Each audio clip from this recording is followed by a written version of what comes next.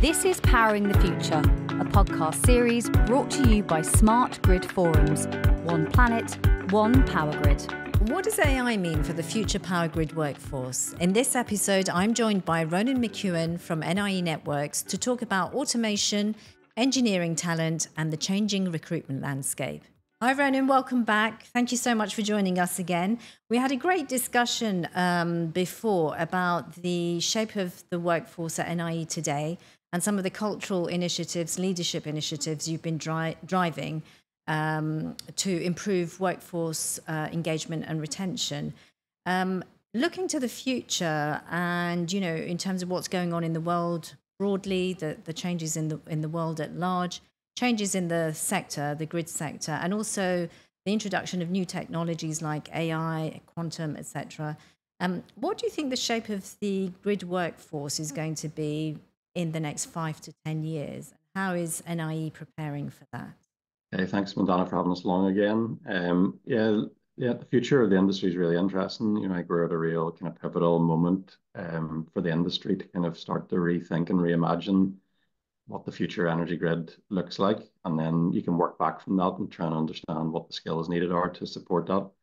Um, so there's no doubt, given the kind of age profile of a lot of the infrastructure that's out there, that there's a necessity to go around and rebuild a lot of that infrastructure and to rebuild it with maybe enhanced capacity.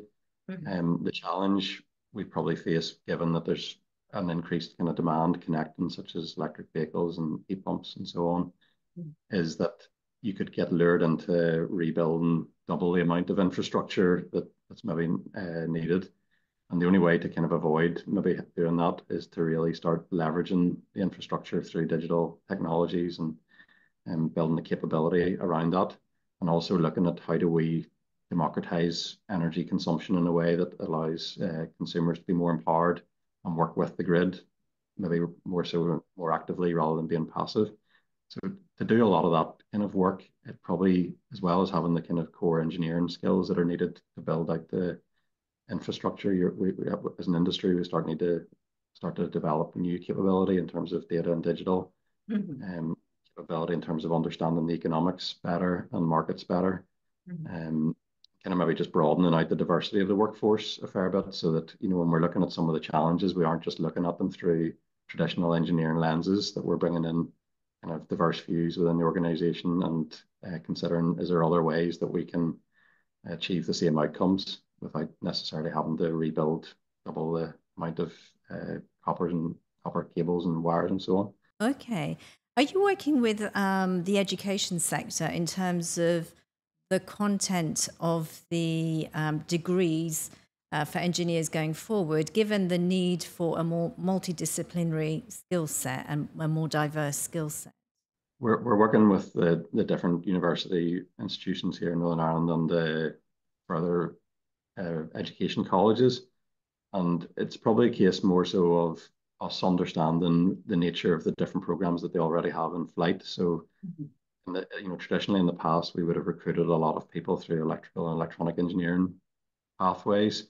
What we're doing now is broadening out the scope of who comes into the organization. So we have people coming in with uh, degrees in energy, uh, got degrees in software engineering, um, data literacy and so on. So we're, we're broadening out the level of intake probably is probably the biggest impact we're having.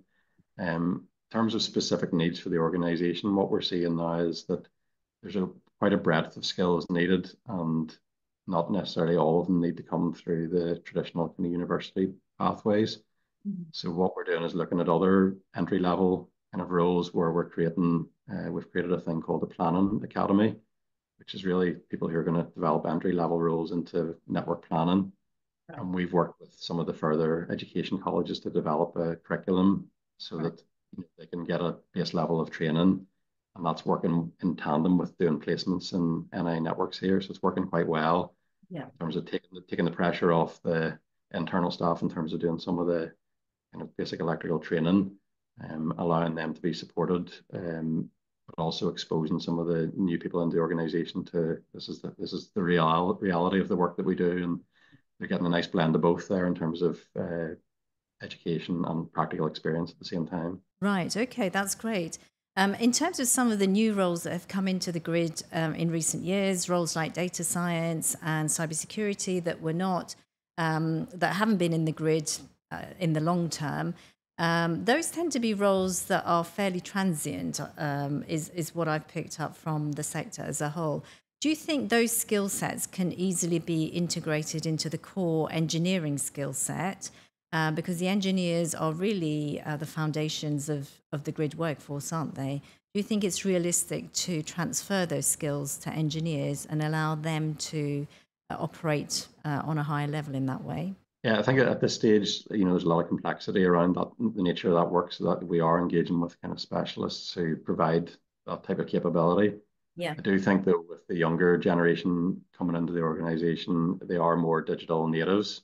Mm-hmm. Um, and therefore, you know, working with them is probably paramount in terms of, you know, unleashing the capability that they have anyway. So mm-hmm. some of the statistics that come across recently are like 70% of ChatGPT usage is by people under 35.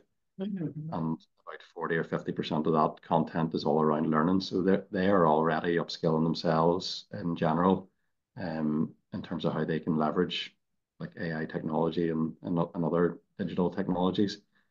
So the key key for industry kind of leaders, from my perspective, would be well, how do you have the right kind of support around those people coming into the organization so that they understand that we have a way of working at the minute, but they're also allowed to bring their of creativity into this workplace, and if they can see other ways that they can use their digital experience to get the same outcomes, that they should be encouraged to do so. Now, a, a big controversial topic at the moment is the role of AI um, for the workforce in general across all sectors. Um, within the grid, what do you think? How do you think AI can be leveraged to boost the workforce? What's the likely impact on the current roles for the future? Do you think? How is it likely to transform the workforce? Yeah, so AI is definitely a topical um, thing at the moment, and I've been playing around with a number of different kind of AI products just to try and understand it better myself. Uh, as far as I can see, like there's still a, a significant need for the, the, kind of human to be in the loop with uh, AI. So mm-hmm. Personally believe that it's going to be a complete eradication of uh, roles within the energy industry. However, definitely has the potential to be leveraged in a way that can help us uh, move faster. So I, I see AI in its current guise anyway as a real productivity booster for everyone and a real leveler. So um, you know, the more we kind of play around with these things and understand what they're capable of, I think we'll start to see where the opportunities lie. But uh, you know, trying to think forward a number of years, um, you know, the idea of AI agents doing things on the on the grid is possible, mm-hmm. but it's the cyber risk that comes with that that'll be a challenge. And how do we make sure that there's like um, some sort of a skilled, educated human in the loop that's monitoring what it's doing? Mm-hmm. Um, so when, when you look at the amount of devices connecting, the amount of controllability that's going to be needed to really fully utilize the grid, um, there's no doubt that you know AI is going to be probably an imperative for the energy industry to see how do we leverage it to exploit the capability that's already there in the in the network.